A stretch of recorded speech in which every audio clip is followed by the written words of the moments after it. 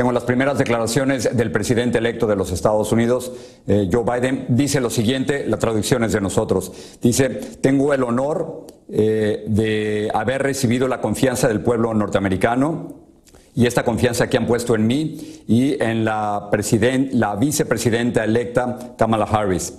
En vista de obstáculos sin precedentes, en vista al número récord de estadounidenses que votaron, hemos demostrado que la democracia está marcando el corazón de los Estados Unidos.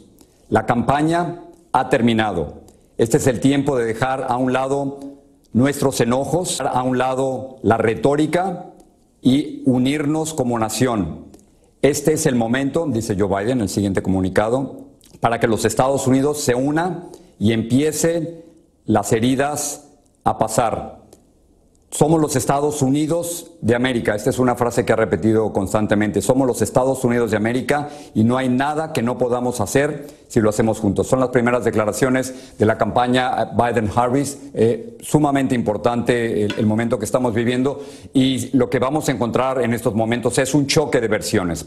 Por una parte, la legitimidad que Joe Biden y Kamala Harris están insistiendo que tienen es un proceso que se ha llevado a cabo en los Estados Unidos por décadas y décadas. Efectivamente, la certificación de los votos se hace a través de los electores en cada uno de los estados y hay que pasar un proceso primero para el 8 de diciembre, cuando se juntan finalmente toda la información para el 14 de diciembre cuando los electores deciden y al final hasta el 6 de enero. Eso todos lo entendemos. Pero tradicionalmente son los medios de comunicación, como ha ocurrido esta mañana aquí en los Estados Unidos, quienes deciden y quienes proyectan quién será el próximo presidente de los Estados Unidos, no en nuestra opinión, no en corazonadas, no en lo que dice en la Internet, sino en proyecciones matemáticas basadas en compañías que se encargan precisamente de hacer este tipo de cosas.